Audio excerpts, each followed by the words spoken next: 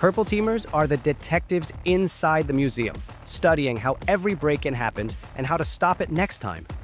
They're the bridge between offense and defense, running simulated attacks, tuning detections, and improving security posture in real time.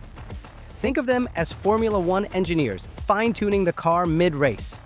It's collaborative and technical, a blend of hacking, monitoring, and strategy. The pace is steady, rarely chaotic, making it a favorite for people who love challenge but also crave balance.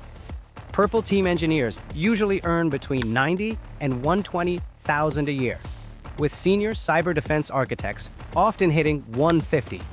The work-life balance here is excellent. Most of your time is spent testing systems in controlled environments, not rushing into emergencies. Stress stays moderate. It's more experimentation than firefighting.